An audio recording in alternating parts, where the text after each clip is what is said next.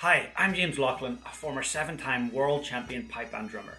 I want to share with you a little bit of a lesson inside my pipe band drumming inner circle. So every week I have a live practical lesson delivered either by myself or one of my amazing lineup of tutors. So you're going to see a little snippet from that today. And hey, if you would like to get your hands on a free drumming course, a full video course called Drumming Transformation Week, just click in the link below. And hey, don't forget to hit that subscribe button. I put out so many video tutorials on pipe band drumming, so I hope you enjoy it. And we're going to stick to uh, 2-4. Um, often when we're doing fla flas, we do it in 6-8 uh, jig, check, check, check, check, check, check, like that.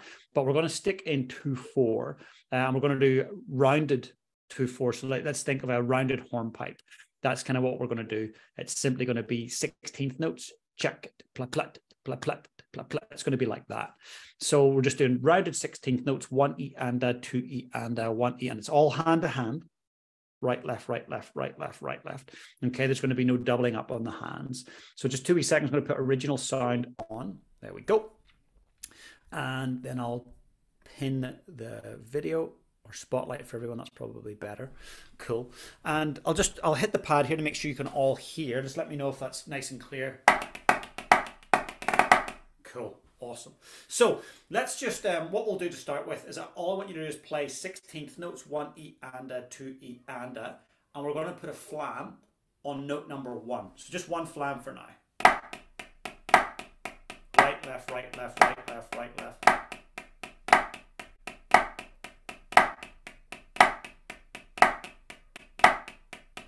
Okay, so before we jump into the patafla fla fla, we're just going to start looking at the flam. Okay, so super important that we recognize that, that flam on, on beat one, on the downbeat, we're accenting that flam. So high hand has an accent to it.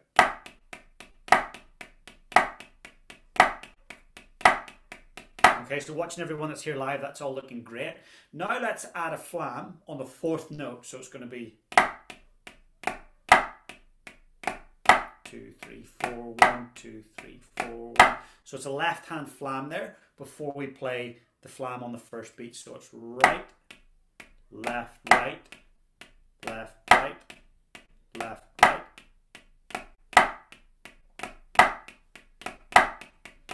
Now, before we speed it up, which we will, let's just think about how we're actually playing that. Is there somebody else coming into the room? Let me let them in.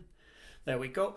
So before we speed that up, let's take a little look at what sometimes can go wrong. So this, often this is what we find.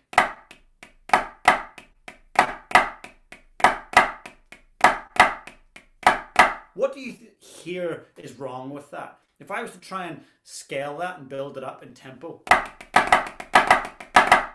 it sounds a bit forced, right? It doesn't sound very pleasant. What's happening? Well, what's happening is I'm accenting that left flam. So when we've got a fla fla, there's a rule of thumb. That rule, and many of you already know I know that some of you live are nodding your head because you know it. The rule of thumb is that we play the first flam soft and the second one accented. Now this session's not a session in how to play the soft flam and how to play the accented flam, but very quickly, soft flam, we don't accent the high hand. You let it float in. Okay? A regular accented flam we're accenting the high hand of the flam. So soft flam, don't accent, and an accented flam, clearly put an accent on that higher hand only. So let's try that again, but this time I want you to really focus on the right hand flam has a bit of an accent, but the left hand flam is soft, you let it float in.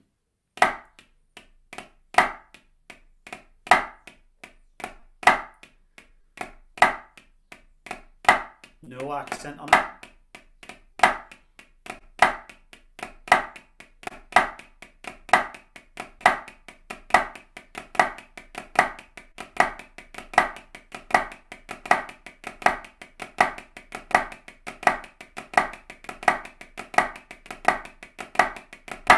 Now as you're playing that, what I want you to listen for is pla plop, pla plop. So P L A P L U P, pla plop.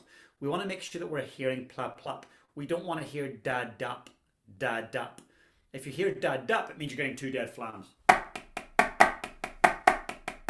Right? We want to move away from that level of thinking, right? We don't want to be getting dead flams. So if you're getting a dead flam, the dead flam obviously means that you're not separating high hand and low hand. So this is not about let's, let's get to tempo. This is about, hey, let's move up to tempo whilst also maintaining a standard, right? So we want to make sure that those standards are accurate.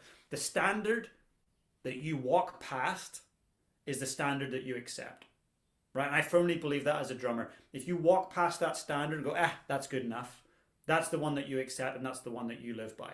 So whether you're leading a drum corps, whether you're trying to become a better player yourself, always think of that as a mantra. The standard that I'm willing to walk past is the standard that I'm willing to accept.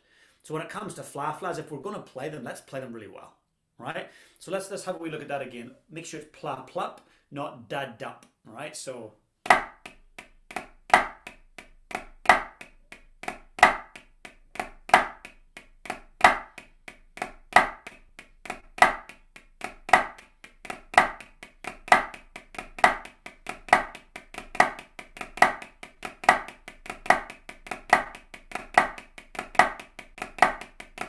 let's pretend that we're chord players and we're going to just chip it. Say we're taking the, first, the two taps in between now. I hope you enjoyed that little bit of a clip from our inner circle. If you'd like to see the full video, head on over to pipebanddrumminginnercircle.com. I will put that description in the link below. Please be sure to hit that subscribe button because every week I upload a new video lesson. You don't want to be missing out on that. And please, while you're here, hit that subscribe button.